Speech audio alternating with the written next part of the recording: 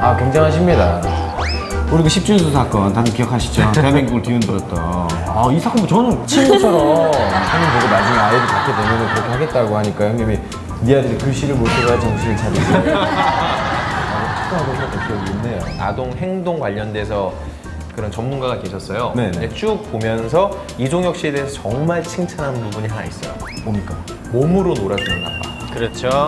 책을 읽어주는 것도 않죠? 좋고 무언가 이렇게 알려주는 것도 좋은데 질질 끌고 특히 다녀도. 아들과 이렇게. 가장 좋은 건 몸으로 부대끼는 아, 바람직합니다. 친구 같은 아빠죠. 네, 얼굴 가죽만 웃고 있어요.